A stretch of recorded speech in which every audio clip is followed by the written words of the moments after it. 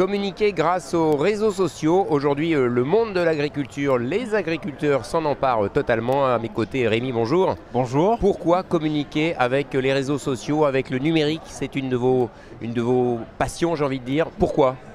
Alors, le fait de communiquer d'une façon globale et surtout de communiquer de façon positive est devenu vraiment incontournable et nécessaire dans notre métier.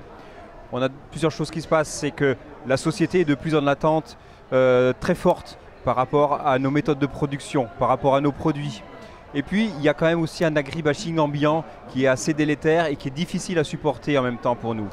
Et communiquer de façon positive, c'est pour nous essayer de s'emparer d'une parole pleine de pédagogie, euh, vis-à-vis justement de nos consommateurs et de l'ensemble de la société. Je le disais, vous utilisez les réseaux sociaux, euh, vous faites partie de la communauté de France Agri-Tweetos. Oui. Euh, en quelques mots, justement, c'est le cas de le dire, comment est-ce qu'on communique efficacement, de manière positive, grâce, au, grâce au tweet bah écoutez, je fais également partie Je suis producteur de pommes et je fais partie du label des vergers éco-responsables. Et, grâce à ce label, on, on sait qu'on a on utilise des méthodes de production raisonnées, des méthodes de production qui respectent la biodiversité. Donc on sait répondre aujourd'hui aux attentes de la société. Et c'est très simple d'utiliser tout simplement ce que l'on fait en verger et de le dire aux gens.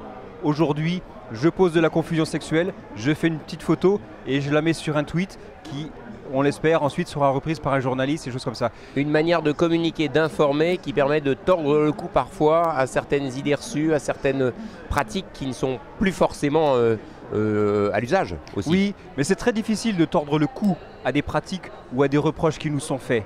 Et, je pense qu'il vaut mieux essayer d'oublier un petit peu des reproches qui nous sont faits, euh, des erreurs qui auraient pu être faites par le passé, voire même des messages qui sont faux et qui sont, euh, parce qu'ils sont spectaculaires, sont, véhiculés par la presse, mais et de revenir à des principes, euh, à des fondamentaux de nos productions avec vraiment du tangible et répondre en disant ce qui se passe sur nos vergers, en disant vraiment ce, que l'on fait. Et là, on a vraiment du tangible et du fond à faire passer.